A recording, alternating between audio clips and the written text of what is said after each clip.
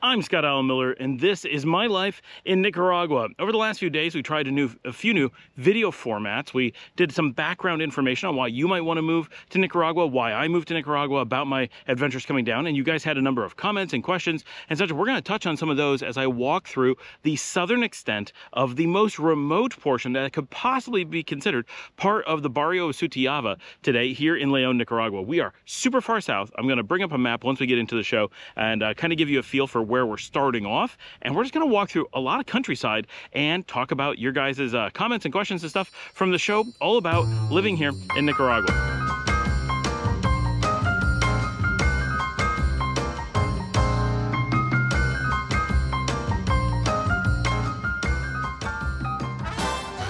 It is a really warm day and uh, I did nearly three miles walking out to this point. So I'm now headed home. So I'm like hot and quite dusty and sweaty and a little bit tired, but I wanted to get some interesting new footage for you guys. I've never been down where we are right now. I've been kind of in the general vicinity, but this is new to me as well as new to, I'm gonna guess all of you. The chances that anyone has ever shown this area on YouTube before or that any of you have ever been here before. Even those of you who live in Leon have probably never been here before. Even the normal people, 99% of Leon has never been here before. We're really, really out there. I'm gonna take this moment and pop up a map.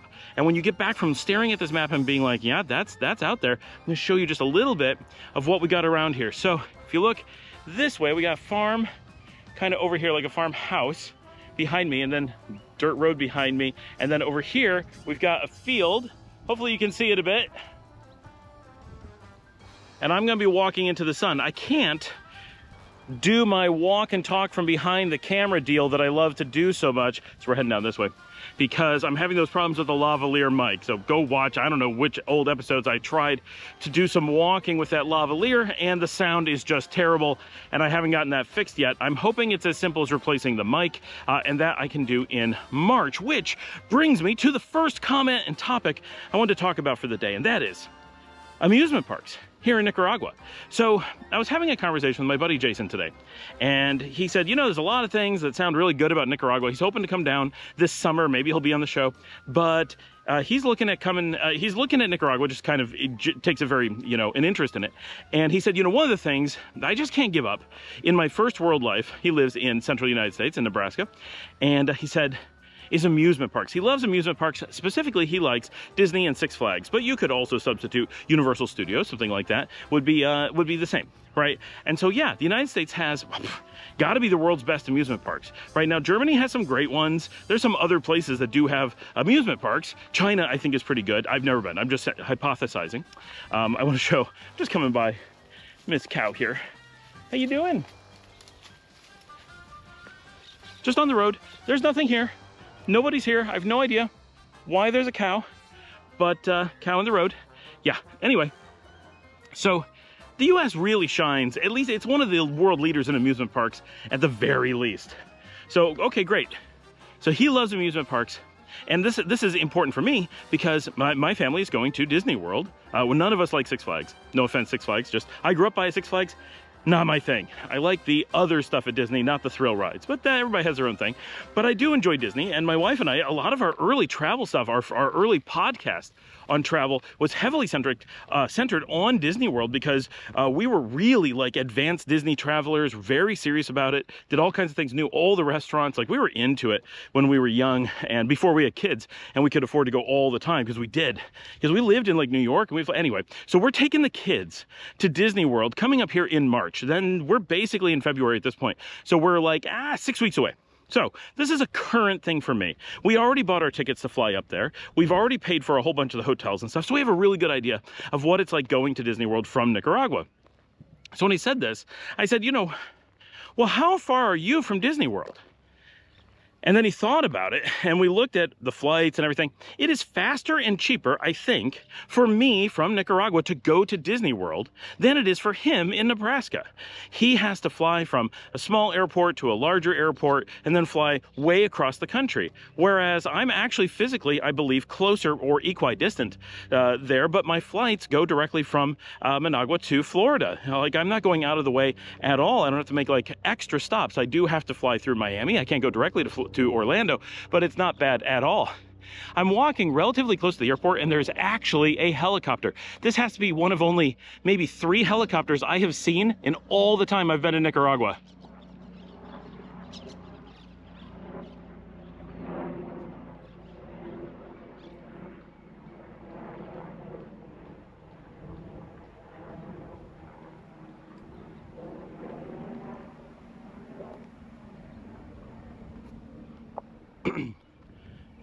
That's wild. I have no idea why. There's a helicopter there. Oh, that made me pay attention to this cool field I'm here by. It's gonna pop up here and show this horse walking by. So this brings up an interesting point that so often when making comparisons or thinking about, like this is, this probably applies to a lot of you, if, especially if you live in the United States, but certainly if you live in Canada too, you, you have a certain amount of well, up here, right, North America, whatever, we have, and then you list these things. And, and, that's true. North America has got so much stuff. It's so much bigger than Central America. It's so much richer than Central America. It has a lot of stuff. And I grew up up there. I, I get it, right? but a really important point that is often forgotten is, you know, if I grew up in, in uh, Western New York, right, my access to Florida was, was is nowhere near as good as my access to Florida from here in Nicaragua. So what does having Disney World even mean in that context? It's not in my home state. Uh, does state borders matter? Does the fact that it's in your country or not in your country make any difference at all? Does that actually apply in some way? Now, the question is, where do you want to be a citizen of? Where do you want to have the rights to travel? Well, okay, it's a different discussion. If you uh, are, oh, look at all the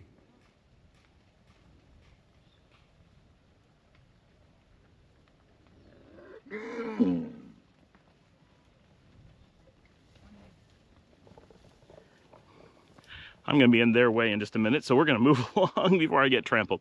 Um, so, what does it even mean? How do, how do you use those terms? Because it's not like you own Disney World. Uh, but so, so where you're a citizen, does matter. So if you're a citizen of Nicaragua, not of the United States, you often have travel problems. So going to the United States can be very hard. But if you're a citizen of the United States or you're a Nicaraguan who has a travel visa, then going to the United States is very easy. And that makes Disney World either kind of hard to get or impossible to get to or super easy to get to. It all depends. And, uh, and of course, access from Nicaragua to the United States is very much limited to the, the points of entry that you go into in the United States. So places like Miami and Los Angeles and Houston are very good. Places like New York, ah, not so good. However, I have flights directly from Rochester, New York, which is a small airport out west, all the way to Managua, $106. It's not super fast, there's a layover, no big deal though, right? Like super cheap, really easy.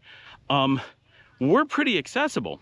So as long as you have the right to enter the US, so if you have a US passport, Canadian passport, whatever, the accessibility of the services and, and features and theme parks in the United States is honestly exactly the same as it is from inside the United States.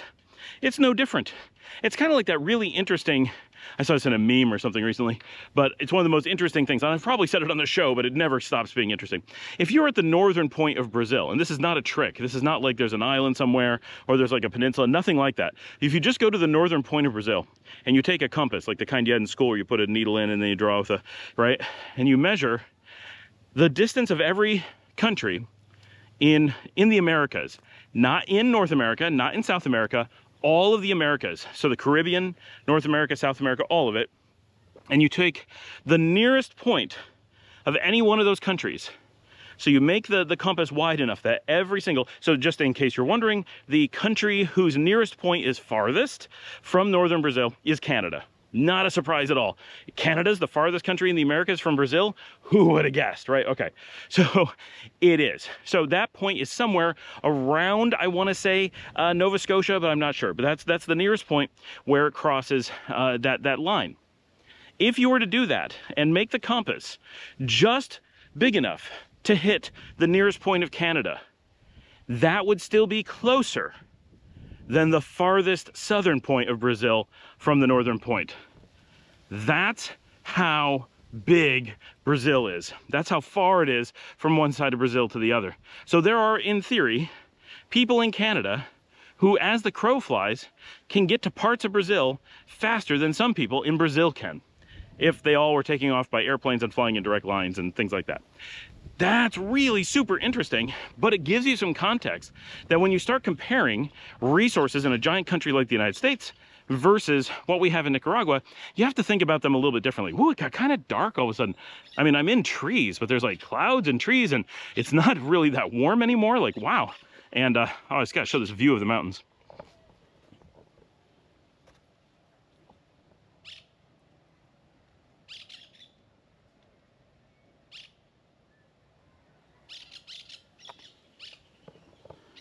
The big one on the left there is San Cristobal over in Chinandega. So that gives you a feeling of how far away it is. Remember, I'm on a super wide lens on the GoPro, so it's much closer than it looks. From here, they're kind of looming in, uh, in a way. I really want to come out, do some of these walks with one of the new cameras and really get some of these views, but it's so, so hard to carry that stuff on a hot day. Like, whoa, it's a bit much. This is a really neat path that I'm walking down. We have a nice breeze today, so as long as I'm in this shade, this is super comfortable. It's only because I was hoofing it hard for three miles uh, and in the bright sunlight on the way out that I'm feeling warm. If I wasn't for that, I'd be so comfortable right now. This is beautiful. It's a really nice day. So, so this whole concept of who has these resources, are those American resources that he has more than me? Or those resources that I have more than him. I'm closer, it's easier for me to go. So it's a it becomes semantics. Yes, they fall inside the lines of the United States, but does that mean anything? If it's not in your state or if it's not nearby, does it really mean much? Like is is uh, you know, is it Yellowknife, Yukon? They're more connected to most of Canada, Alaska than than most of the US is. If there's a resource in Alaska that they're going to all the time, or Alaskans are going to resources in Yukon or Northwest Territory all the time, which is their resource? Which thing do you refer to as an advantage for you? Well, if you take it in a the first world or the United States has Disney World, then yes, the United States does. I have a pack of dogs that suddenly surprised me there. If we're, wow, if we're working from these little puppies, and there's a bunch of chickens and puppies out in the field. If you're, you know, looking at who owns the properties, if you're looking at what country it falls in, yes, the United States has those things. But if we're looking at who has access to those things, well, we have kind of equal access. So it's important to just contextualize a little bit and remember that we don't think of the world when you actually like live here or you live in the United States right? The United States has access to Nicaragua. It's very easy. It's two hours away. You can come down anytime you want.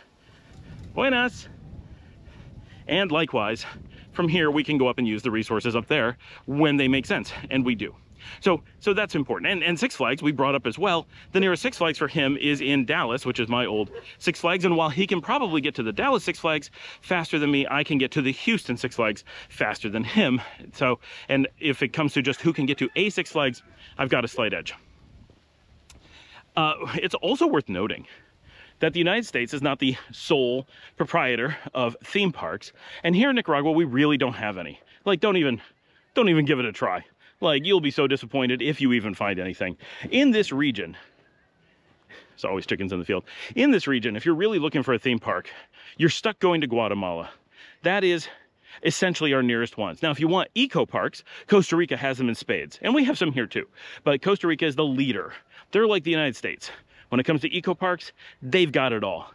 Guatemala has a number of theme parks. Some of them are pretty decent. None of them are Disney World by any stretch, but they have some real theme parks that you can go to and it, it would be pretty interesting. I'm really hoping this road goes through because I'm coming up on a wall. Fingers crossed that this goes somewhere. I think it turns. I think we're okay. This is the problem with just exploring on foot. You can end up some pretty remote places and then what do you do? All right, so uh, also, Mexico has quite a few theme parks, and they have some big ones. Guatemala has some serious ones, but Mexico has some giant ones. And of course, you can reach all those from the United States quite easily too. So it's not like we have dramatically better access to Guatemala than the United States does. A flight from the US to Guatemala or a flight from the United States to Mexico is very, very easy. Same as here. But it is worth noting Mexico, we're kind of split. It's roughly equal. Most of their, their theme parks there are in Cancun. That's a big spot for it, as you might imagine. But uh, for Guatemala, the the main location for them is near Quetzaltenango. Or if you watch, there's got to be something more. He showed, they call it Xela right? But the city that is the second city of, of Guatemala, the one in the north near Mexico, is known as either Xela or Quetzaltenango. That region, a little bit on the south side, somewhat towards Lake Atitlan, is the area of a lot of the theme parks. And uh, so if you're flying in from the United States, you fly into Guatemala City, and then you travel up to, to Quetzaltenango. If you're coming from Nicaragua, we can also fly into Guatemala City and take the same trip to Quetzaltenango, or we can take a bus from here and bus the whole way through, which is not a super attractive way to go. It's a really long bus, but we do have bus options that Americans generally don't. But they're not good options, so I don't, I don't, I don't know if that matters. But uh, so this is interesting. I'll show where I popped out and why I was lost. So we just came from behind me, and then off to the left. I am not going down this way. I have no idea where it goes. But we'll take a moment while we're standing here and bring up a map so you can see where we've come to, and then we can figure out what's down there. Because it looks attractive, but I do want to head home. I want to have dinner at some point. And then we've got these fields over here. By the way, these giant dark trees that are all around are mangoes. And then we're heading this way. All right, this is northbound that we're facing. We're walking up this path. So we've been coming kind of west, and so we just turned north. All right, my next question, and I don't have all my notes in front of me, so I don't know who asked these. So my apologies to everyone. That, uh, but uh, before I answer, I just want one super appreciate everyone who wrote in, especially yesterday. There was, there was quite a few uh, with questions and comments and and, and discussion about things that we said, uh, which is fantastic. And and that stuff is what gives me the material to talk about so much of the time. Sometimes I, I come up with things like I encounter things and they're interesting, and sometimes uh, I use vidIQ and get some ideas from it, but it's mostly garbage like 99% of the time. But once in a while, it give me a gem. The last couple days, I had saved up from some from them and used it. Uh, but in general, it's not very good. it's uh, It gives me some super generic stuff that doesn't apply to my channel. Um, if it applies, it does okay. But uh, mostly it's like, here's what people who aren't your show people, like my, my members, here's what they want to see, but that's great for drawing in new people. So welcome to the new people that came because of that. So glad to have you here. Um, but for you guys who are here all the time, uh, it's like, oh, that's not material we're necessarily looking for. I, th- I hope I hope I make it interesting. But you know, but so thank you to the new people and thank you to everyone who had comments and stuff on yesterday's show. And uh, I want to show this field here in a second as I get it clearing. So many chickens running around here.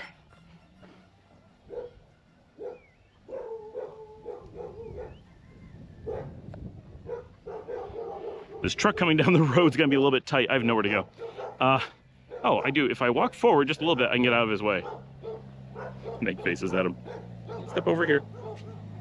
All right.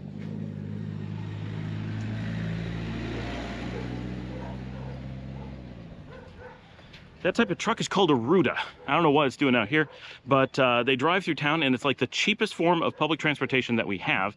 And uh, oh, look at this little community just kind of opens up and is suddenly there. There's so many hidden communities in Nicaragua. That's like secret communities. Nicaragua, the secret community. It should be like Nicaragua, the secret community story, something like that. Secret communities, the Nicaragua story.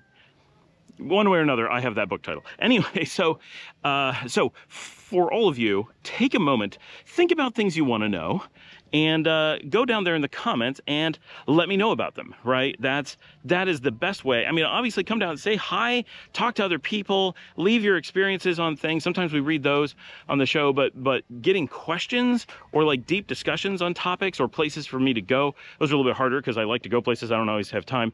But anything you can do like that any any questions you have that's literally how we get the, the content for the show. So that's fantastic if you guys can do that because we have to put this out every day. It's uh, it's a lot of work Buenas. Okay, so the next question up was, what do I think? This is in the context of, of the show yesterday where I'd moved to Nicaragua. Uh, what do I think of Panama and Costa Rica? So this is actually, um, there's a lot of people who live in one of these countries who have no experience with the others. And so anything they answer is very speculative, but for me, uh, I lived in Panama before Nicaragua, and uh, so Costa Rica lies between the two, which makes it so I've kind of got a bunch of experience in the range, and I'm in Costa Rica a few times a year simply because when you live in Nicaragua, chances are, oh, we got some beautiful light now. This is great.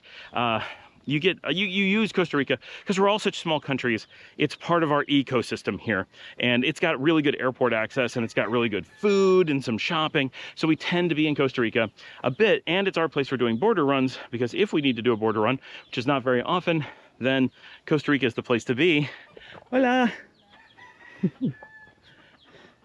because uh, it is our nearest hard border. By far, it is our nearest border. All right, I have to figure out where I am before I make a turn because I'm gonna get lost.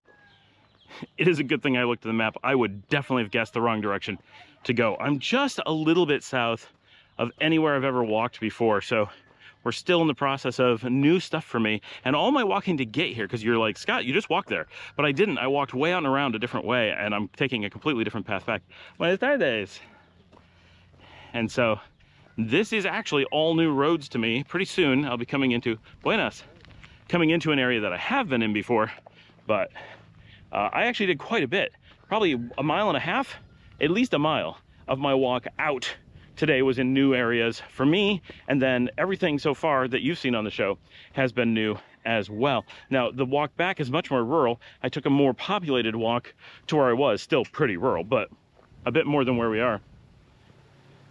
I've got, uh, I've got the Ruta coming back. So the Ruta is, which just stands for the truck on the route, right? They're basically pickup trucks, but with a, they're a little bit less than a pickup truck, I guess.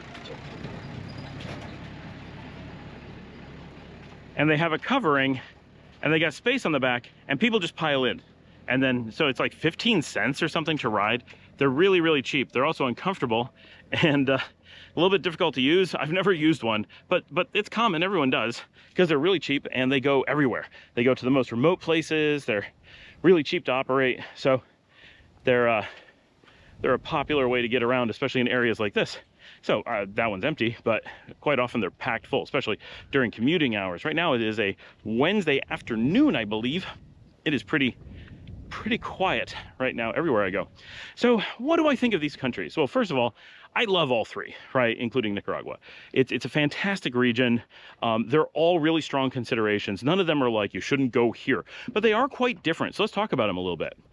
So Costa Rica, uh, which borders Nicaragua, sits between the two, is very so it's unique in the region all countries are unique, right? But Costa Rica is super unique because it is extremely expensive, very Americanized. So if you're if you're looking for an experience that's a lot more uh, closer to home, you want access to a lot of people who speak English. You want uh, access to a really large city. The capital city of San Jose is uh, almost double the size of Managua and much more urbane, full of amazing restaurants and bars and cocktail lounges and music scene and just a lot going on. It's a really nice city. Um, it's also a lot more dangerous, but it's got a lot of people and a lot of stuff to do. And there's a lot of it that you can walk around. And it's got neighborhoods that are just fantastic. I really want to spend a lot more time there because there's so much I'd love to see with cool neighborhoods with great architecture and so much to show you guys. I need to spend more time in Costa Rica, and I'm sure that I will. Uh, just in time as uh, as we're down here, it's it's easier and easier to get down there. It just as you're in any place, it gets easier to do all kinds of things. You get used to doing stuff. So I love Costa Rica um, for its its really broad array of amenities. And you know, if Costa Rica was really inexpensive, like in Nicaragua, I think it would, it would be really hard to rule it out in a lot of ways. Yeah, it's not as safe, but it's still really safe. It's got really amazing ecology and ecological activities. Uh, it is really green. It's got cooler weather. It has hot weather like Nicaragua, but it also has like San Jose is a city of really mild temperatures. So it's much easier for Americans normally to go there and enjoy the, the weather because it's not so hot. And it's only hot when you go to the beach.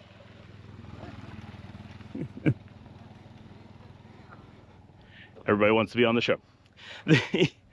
uh, it's it's very packed with tourists. So if your goal is to have a lot more food, a lot more activities, a lot more of of uh, more of a touristy experience where things are more polished, things are more fancy, there's more variety, and there's more English and access to other expats then Costa Rica is almost certainly going to be far and away your winning location. Costa Rica is so strong for that. It has great communities, enclaves, but even if you don't live in an enclave, you can get a lot more as an expat in Costa Rica than you can in Nicaragua in general. The Nicaragua has its spots, but Costa Rica is like that nearly everywhere, or at least in really large areas. The biggest negative of Costa Rica is really just how expensive it is. Or if you're like us, one of the big negatives for Costa Rica is we really want to be a part of a place. We really want an incredibly strong culture where we get to be very steeped in it. And obviously, and I don't mean to imply that Costa Rica doesn't have a, just as strong a culture as everyone else, that it doesn't have all of this community and all these great things that Nicaragua has. But what it does have is so many tourists so many expats, so many non-Costa Ricans everywhere that if you're not Costa Rican, it's not that you can't get into the culture. It's not that you can't get away from the tourists, but the effort to do so, the complexity of doing so is very high. If you come to Nicaragua and you want to be in with Nicaragua, you want to live like a Nicaraguan, you want to experience Nicaraguan life, you want to do what I'm doing right now, which you don't want to do, I'm sure, but if you did, then Nicaragua offers this and it is so easy. You have to actually go quite a bit out of your way to create a situation where you are not actively involved with the Nicaraguans. You have to seek out the remote, distant uh, areas, mostly the Rivas beaches, or parts of Granada. But even in Granada, it's not, it doesn't really apply like that. It's almost exclusively the Rivas beaches, or, which is San Juan del Sur and up to like Popoyo, kind of that, that stretch those areas are dominated by expats, but those are not in the in the heavily populated part of, of the main portion of Nicaragua. They're, they don't have the airport. They don't have much of anything. They're actually really remote, um, much more remote than, than you would believe, right? For those of us who live up here and are connected to the country, we can get anywhere in the country so fast. We have access to all the resources. We have all the cities. We have all the interesting things, all the activities. And then you talk to the expats and they're all living, not all, but a really large percentage are living in super remote hard to get to, very empty areas. And you're like, gosh, the, the amount of stuff you give up to live out there like hermits, it's weird. But it's also beautiful and remote and everybody speaks English and it's, it's a very, it's a completely different experience, right? Two completely different worlds. Hence why we call it the two Nicaraguas. I have an episode on that from a while ago. We're gonna take a break, let the camera cool down and let this truck go by so it doesn't make so much noise. All right, I had major technical difficulties with my camera and I ended up recording everything in high speed. So an entire 20 or 30 minutes easily of show that I recorded for you about Costa Rica was lost. That's just awesome. So I'm doing my best to recreate it now.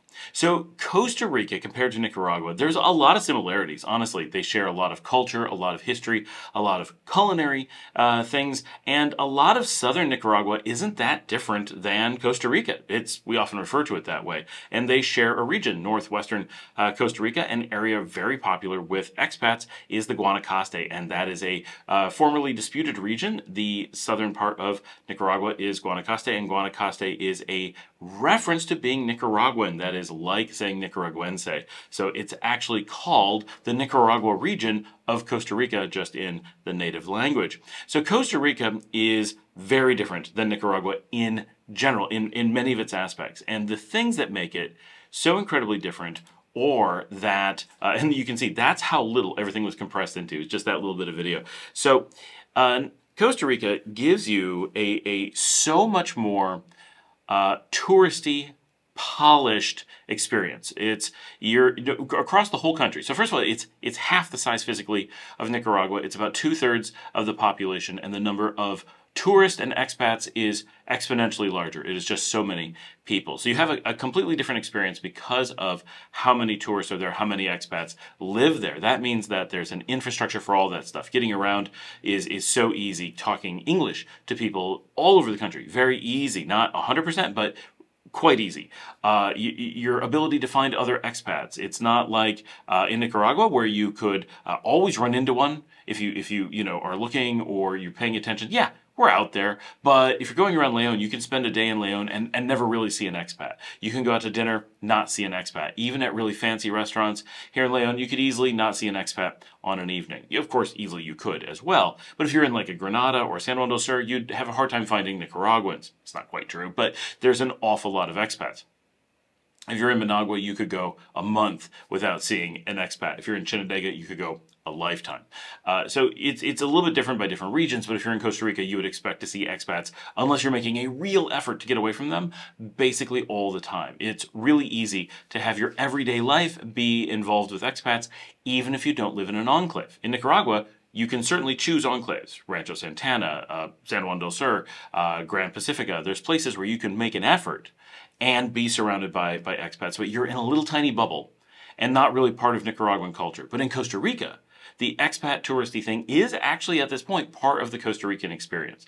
And so you can um, find that you're going to be mixed in with expats everywhere that you go, whether they're visiting or they live there. It's, it's just part of everyday life. And so that makes for a, an absolutely different experience. And that's not, not good or bad, just those are things you have to consider. If what you're looking for is that uh, escape, that, that completely changing culture, getting uh, away from what you're used to and and jumping both feet into another place. Nicaragua is going to make that so much easier, so much more obvious, so much more in your face. And if you want to have an easy time where you're like, well, sure, I want to experience another place. I want to embrace Costa Rica. I want to embrace another culture, but I don't want to be like clueless. I don't want to be isolated. I don't want to be alone. I don't want to feel like I don't know how to do things. Then Costa Rica is going to give you that. It's such a different world. Now, of course, with that, Costa Rica is very expensive. It is the most expensive region in Latin America.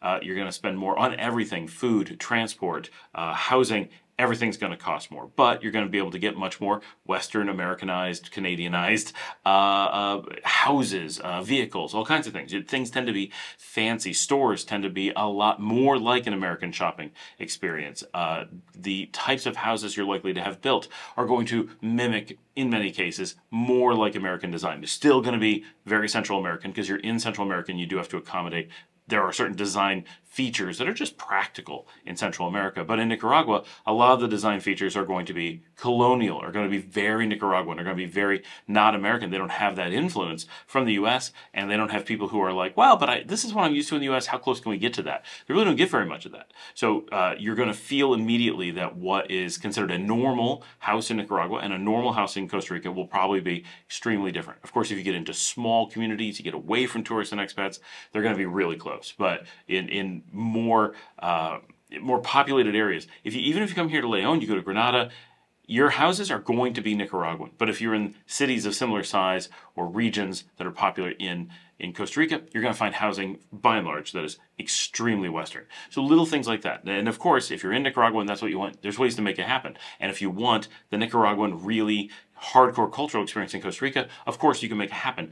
But in both cases, you'll have to go out of your way and you'll have to make it something that, that works for you. It won't just be handed to you. It won't be, I got off the plane and this is what I found, right? Now, uh, Costa Rica also has a big city, San Jose. It is about double the size. Uh, we talked about this a little bit. I, I, don't have all my notes as to which things got onto the recording already and which didn't, but San Jose is twice the size of, of Managua and is very urban, very urbane. Uh, you're going to have, you know, big shopping centers. You're going to have lots of restaurant variety, really cool, like just urban everything with like trains coming through and stuff.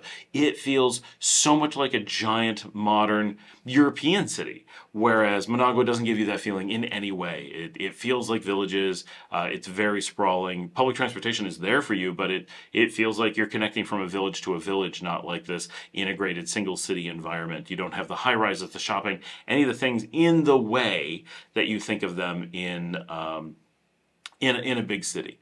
Uh, but Costa Rica is going to give you that big city feel. So if the thing you want is big city, and these are the countries that you're looking at, Costa Rica is going to have the biggest one. Panama, we'll talk about Panama City when when we get to that, which I did manage to record. Uh, so overall, the, the biggest takeaways with Costa Rica, it's not quite as safe as Nicaragua, but it is pretty safe. It doesn't have the big gang violence, but because of so many tourists, it does have a little bit of touristy violence. Uh, it's just, the, the, targets are there, it's hard to resist.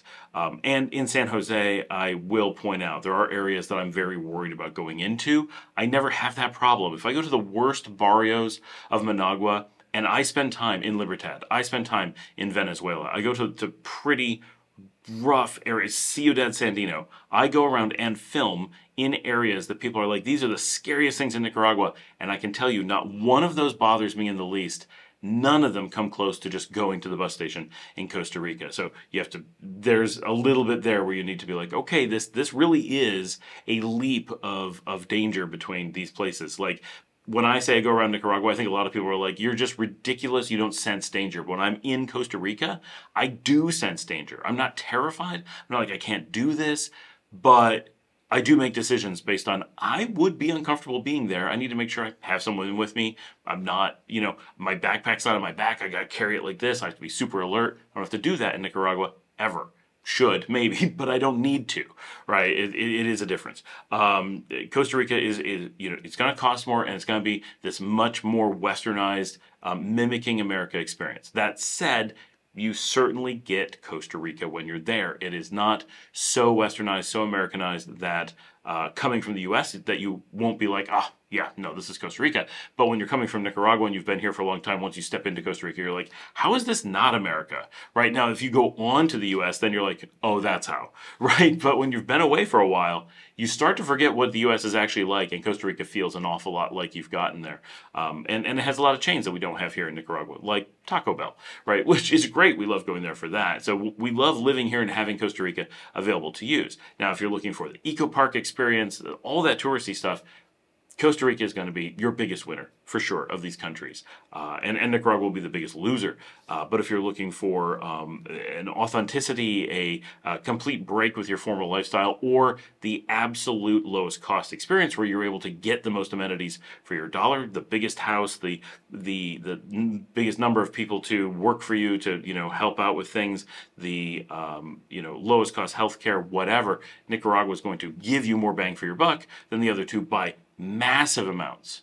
But it does that at a cost of there aren't going to be the expats, there isn't going to be the English, there isn't going to be the spit and polish on all the little things. And you will feel that all the time. And for some of us, that's actually kind of cool. Like when I go to Costa Rica, I really appreciate how polished everything is. But when I come back and when I, when I really want to live, I don't want that polish every day. I like stepping into it, enjoying it a little bit, and then going back. I like how rough around the edges, how unfinished Nicaragua feels. Um, and, and it's getting better, right? And uh, better. It's getting more polished uh, as time goes on, uh, simply because the infrastructure is improving, investments are happening. Um, more things are being built, uh, and, and you see it really rapidly as, um, and you saw in the video, some of the barrios we walked through, some of the rougher areas in this, you see a lot of, uh, you know, tin-sided buildings, really rough structures in some of those areas. When I was here nine years ago, it was, that was everywhere. And now I have to walk miles and go into areas no one would ever go into to experience it. And that's very different. And what's happened is tons of new uh, development has gone in and replaced what was there before. So there's Nicaragua is on this trajectory of massive construction and improvement and, and more modernization um, on, on a Nicaragua scale, right? it, it is a different thing. But uh, Costa Rica has been there for a long time and uh, uh you will feel it, right? So um, all of these countries are great options understanding that especially these three i think have very different. If you're taking the knobs of how polished it is how expat communities how many right these have their knobs all turned in very different uh, directions whereas uh, the northern triangle the guatemala el salvador and honduras you're going to find those knobs a lot closer to each other and they share a lot more similarities both with each other and to some degree with Nicaragua, Costa Rica and Panama are the least like Nicaragua of the group. So they're the most dramatic. If you're looking for a short list, you definitely want to put El Salvador on that uh, more than more than Guatemala or or Honduras. Personally, Guatemala for me, absolutely fantastic. That would be my second choice of where I've spent time, what I know currently. Um, Honduras is, is, still great. I love Honduras, uh, but it falls much more uh, uh much more down the list partially because it's still rough around the edges like Nicaragua, but it has the, the highest crime crime of the of the region now, um, and that's uh, something they're working very hard on. I have no worries going to Honduras. I would live there, blink of an eye if I had to, but it's got a lot of great competition from the region, but it's also up and coming. So I'm really interested in seeing what they've done in the last couple of years, and maybe they're going to move up on the list. We're going to see. But uh, let's get on to Panama.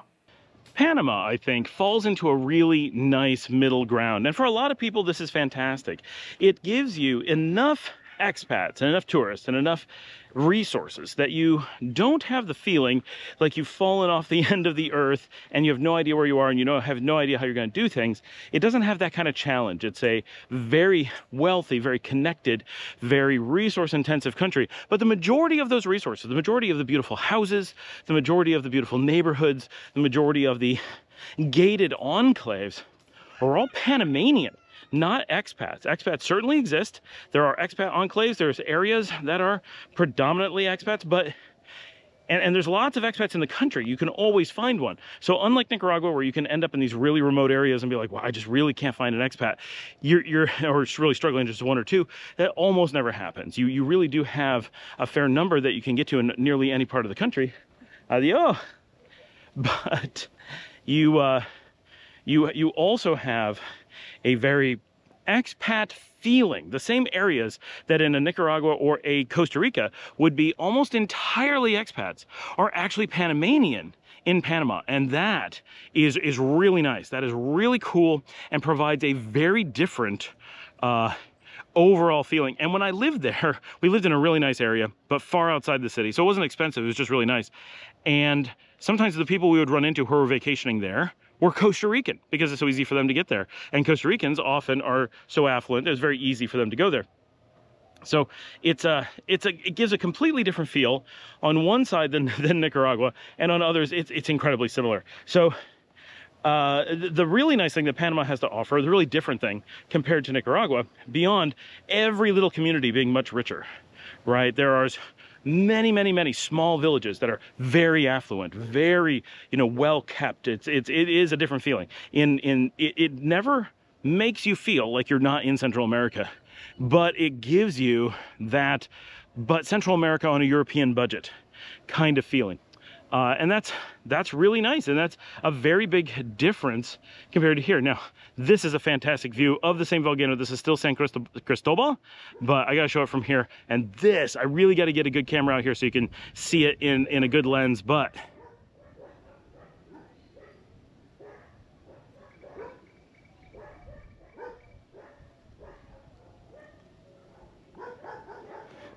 there with the giant guanacaste tree on the right. Okay, so so I like Panama for that, for this totally different who owns it feeling and it's it's hard to describe. But the biggest thing is Panama City is so urbane, even compared to San Jose. Even though it's smaller than San Jose, it is a dense, high-rise based city.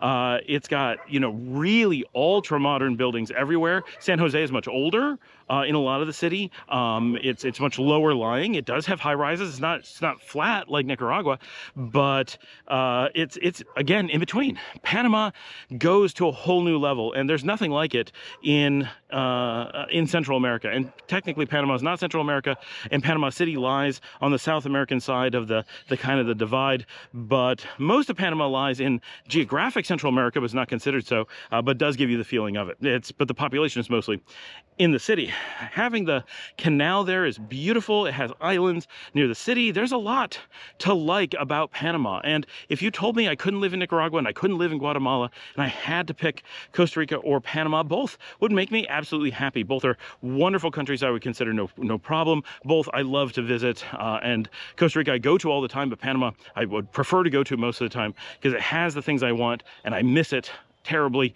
Um, and I really want to get down there and film this year. That would be fantastic. There's, I want to see what it's done in the years since I've been there. It's been nine years since I lived there. Wow, that's something to say. It feels like I was there pretty recently, but that's the last time that I actually lived there.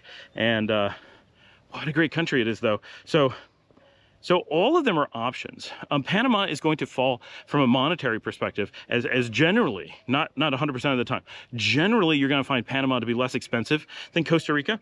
Uh, Costa Rica is the most expensive for general everyday living for most of the things you want to do uh, anywhere in the region. That includes the Mexicos, that includes the, the Chiles, all of that you expect to spend the most in Costa Rica of course, any place you could find some way to spend a lot of money. So you might find an, a pocket of more expensive somewhere. But for the average person, Costa Rica is going to have the highest cost for the most average number of things. Uh, but Panama is still a very wealthy country and you're going to have a lot of costs. But if you live in Panama with the same income, um, and, and in reality, Panamanians have a slightly higher income than Costa Ricans, so they have a lot more buying power uh, in their in their own country. They have higher salaries by a little bit with lower cost of living by a little bit. It's a really nice combination, of course. So it's hard to do a complete comparison between three different countries on a just walking around show like this, but uh, but that's my take on it. Um, we you know we show Costa Rica here on the show. I'm definitely gonna get down and film Panama. I've got to. And one of my best friends lives in Panama, and, and she would love to be on the show. She's not she's not shy, just doesn't have time to do.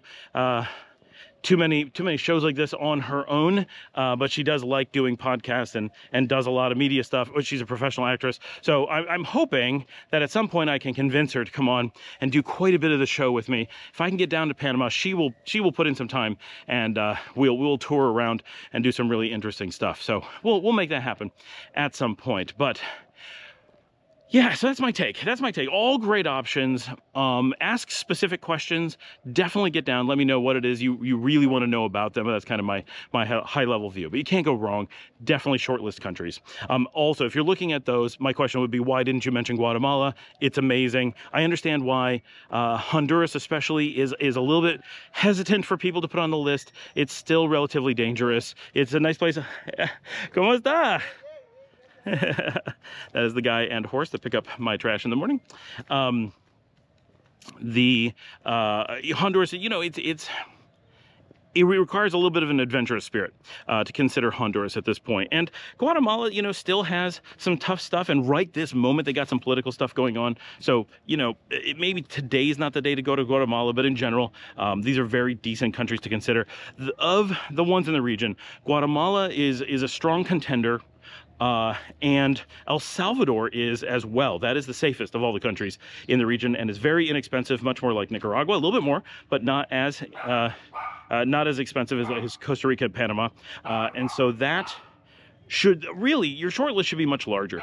Central America is just broadly amazing, and and everyone has something to offer. And it the thing is not that there's one specific gem. Of course, if I was to say there was one specific gem, I'd say it was Nicaragua. That's why I'm here. But if I wasn't here, every single one of them is well worth considering. It is just a wonderful region. Uh, but they are all very different and each have very different offerings for you. Okay, next up, the question was, uh, he said he loved the idea of hiring someone to go do shopping for you. This is like, you don't want to go to the grocery store, uh, you don't know where to shop, you don't want to go to the market, which I'm walking by, the, the little market's just over there. And it can be daunting, it can be time consuming, and you may not get good prices. So how can you tackle this as a foreigner who's living here? Especially, this was on the episode about being a digital nomad. Uh, how can you make digital nomading uh, more lucrative so that you have more time to focus on things that make you money and less time spent trying to figure out how to buy you know, papaya. Uh, so the thing that I said is, um, one, consider having a live-in chef or something of, the, of that nature that's going to cook for you uh, or clean your house or all those things. That's fantastic. But taking that a step further, um, and most of the people who do that would also do this, and that is uh, consider having someone that will go out and do your shopping for you. And of course, that could be done once every two weeks, once a week, twice a week, whatever makes sense. And uh, uh, it, it doesn't have to be a huge thing. It doesn't have to be a huge project or, or it could be someone that's full-time working for you and this is just something they do as part of their job. And they said, how do you handle that? Well, the first base is yes, you just hand them money and, and have them go go do the shopping. You can have them get receipts or at least write down what they get. You can you can do some amount of auditing with that. Um, and his question was really, okay, so you're handing them money. How do you know that they're not just skimming off the top and, and taking a bunch of the money? Well, to some degree, you don't really know. But you can do some things to check. So first of all, if you're sending them to the market, you're gonna have a receipt and you can look at it and check or spot check and make sure that the amount that you're getting in, in change match, matches what they're getting from the grocery store. That's if they're going to a Pali, a Maxi Pali, a La Colonia, a La Union, and similar. but that's not really where the fear is. But those are addressed. The question is when you hand them cash and they go to the little market, how do you know they're not skimming off the top? Well, to some degree, you're not going to know. You're never going to know with any employee that something somewhere hasn't gone awry. Uh, we've all been stolen from in the United States from time to time. It happens, right? So no, there's there's not a hundred percent guarantee on anything, and that's unfortunate. But uh, for the most part, not everyone's out looking to get you. That's not a thing. Everyone feels that here because so many people who come looking for you. Oh, I'd love to do this job for you. Oh, do you have work for me? Well, they're they're coming looking for you as a foreigner because they want to take advantage of you. So you tend to encounter those people when they're looking for you with quite a degree of frequency. But when you're out looking for someone to do a job, you encounter it at a normal frequency, which is still a little bit, but it's not terrible.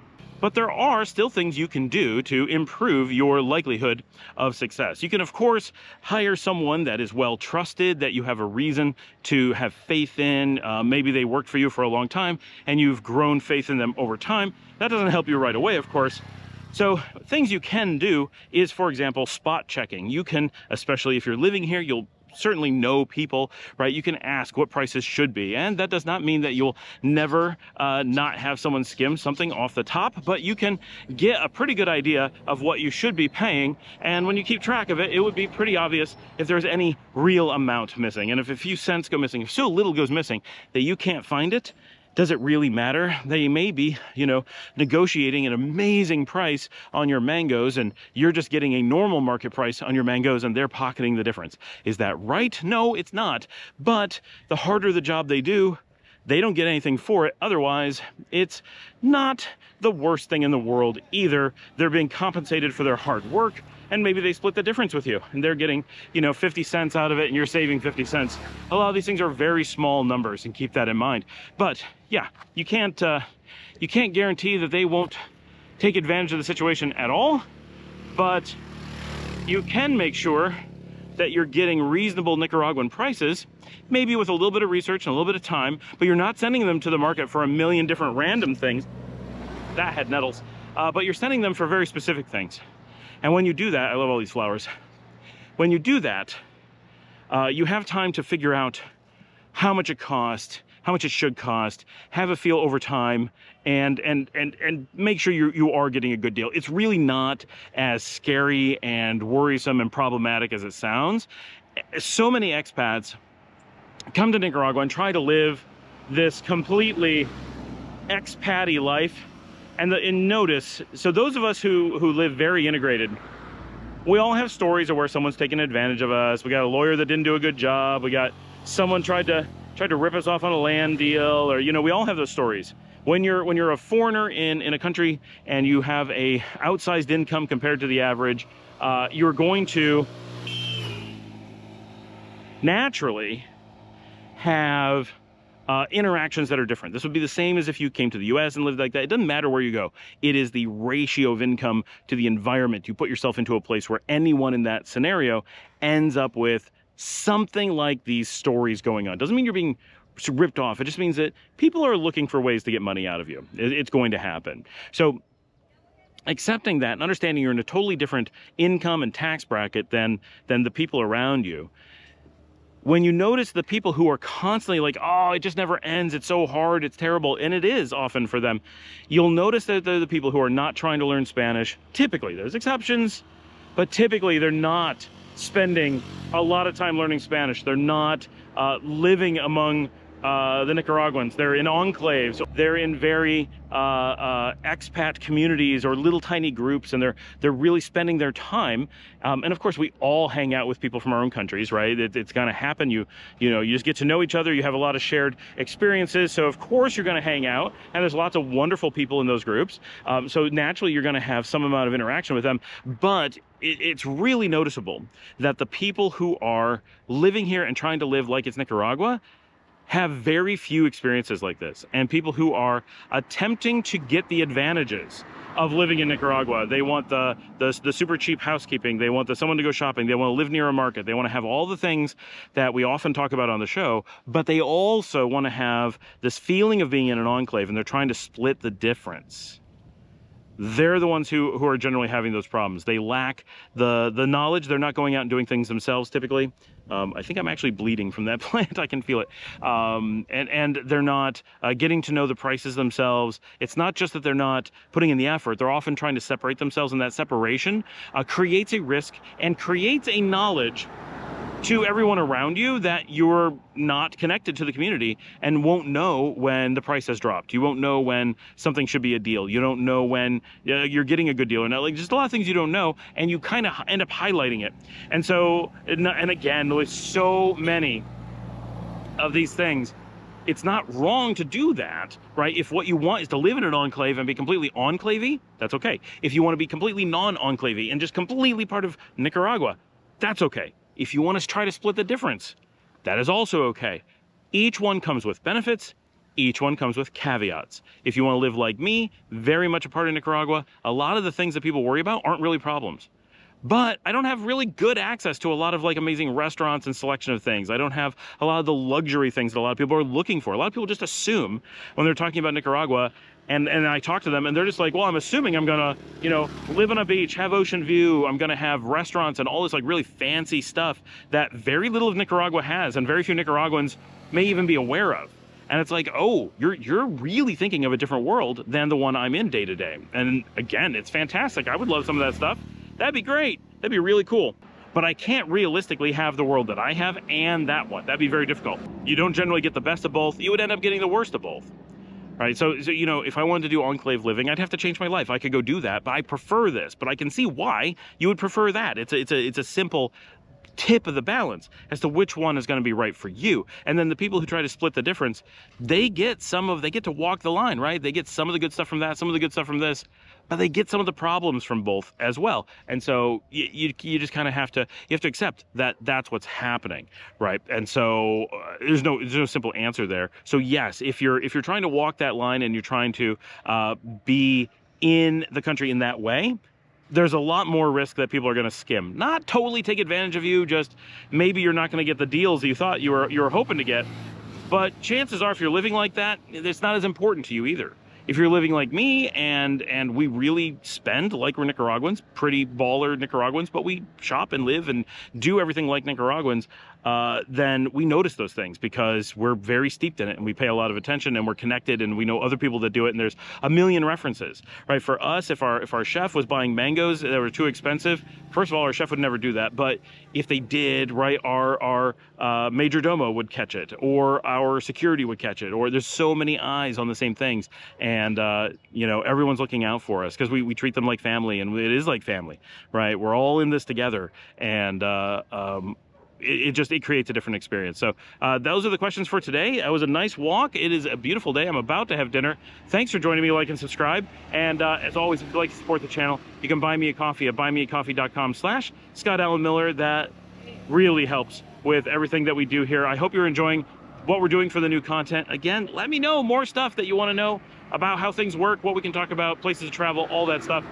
And as always, I will see all of you tomorrow. Look at these cute dogs. They're so little. Hey. Hey. Hi.